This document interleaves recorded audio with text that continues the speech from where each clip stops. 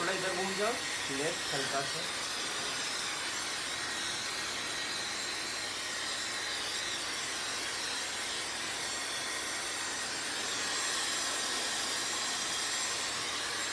उल्टे तरफ़ this side